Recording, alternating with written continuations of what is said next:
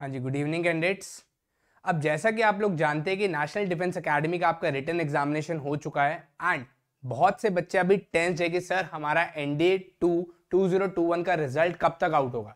तो मैं आपकी जानकारी के लिए बता दूँ according to UPSC official notification आपका जो रिज़ल्ट आता है, जो आपका रिटर्न एग्जामिनेशन है, उससे 40 दिन बाद आता है। तो आपका एग्जामिनेशन हुआ था 24 और 14 नवंबर को तो अगर हम एग्जामेशन करें तो 24 दिसंबर तक। तो ऑलमोस्ट आप एक्सेक्ट कर सकते हैं कि 20 से 24 दिसंबर तक आपका जो है NDA two two zero two one का जो रिज़ल्ट आउट हो सकता है।